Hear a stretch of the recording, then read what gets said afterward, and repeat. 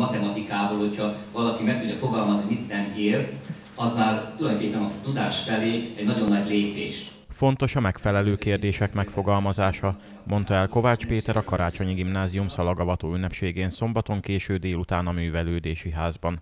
A plébános a végzős diákoknak azt tanácsolta, hogy mindig legyenek érdeklődőek és tegyenek fel kérdéseket akár hitéleti, akár tudományos témákban.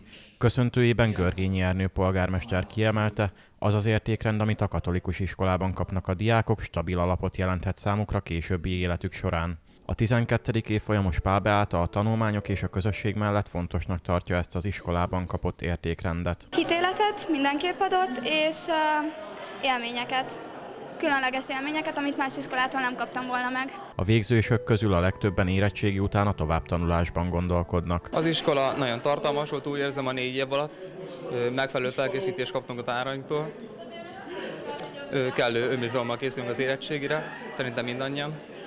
Továbbiakban majd a, a TF-re szeretnék jelentkezni.